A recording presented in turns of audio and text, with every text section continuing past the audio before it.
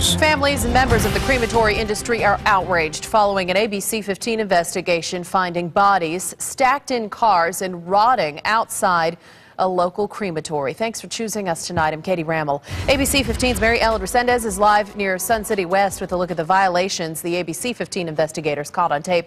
And Mary Ellen, uh, I think the first thing we saw was the black smoke rising from the smokestack. Is that normal? Not according to Paul Gabriel. He runs the crematorium here at SunWest Funeral Home. Take a look at this. He has actually installed a video camera over his smokestack so he can see the emissions while he is burning. And he tells us if he sees black smoke, he knows something is wrong. It's not something you see very often. Paul Gabriel was stunned when he saw dark black smoke rising into the air from the crematorium at Allstate Funeral Home.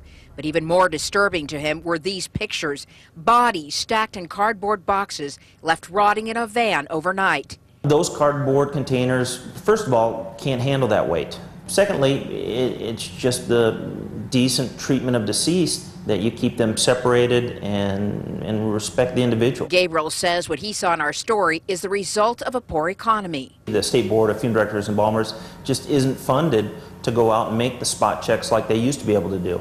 Uh, I think it's now up to ourselves to help spot check ourselves. Gabriel told me that clearly wasn't the case in our surveillance video.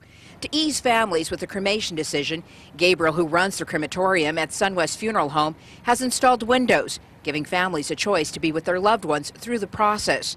Families also have a choice to start the main burner with a button from the viewing room. Um, will push by themselves or the family designee will push. Others will use all their hands at once, all together. As for Allstate Funeral Home, the owner is being called before a state board next month. Things have to happen with that operator to, to make that correct.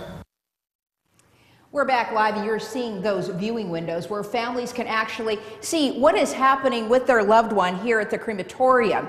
Now, while the economy is rough, Gabriel is suggesting that families also help police the crematoriums. Don't be afraid to ask questions and don't be afraid to view where your loved one is being taken.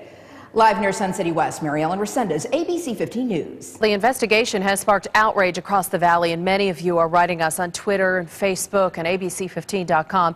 Tanya Brown Wright writes, If you have so much business, you need to hire people, not let dead people rot inside boxes and vans. I hate for that to happen to any of my family members. And Brent B.J. Farley Jr. writes, What he's done with the bodies, taking them home in a van and then leaving them in the heat to the point maggots appear, is disgusting and pathetic.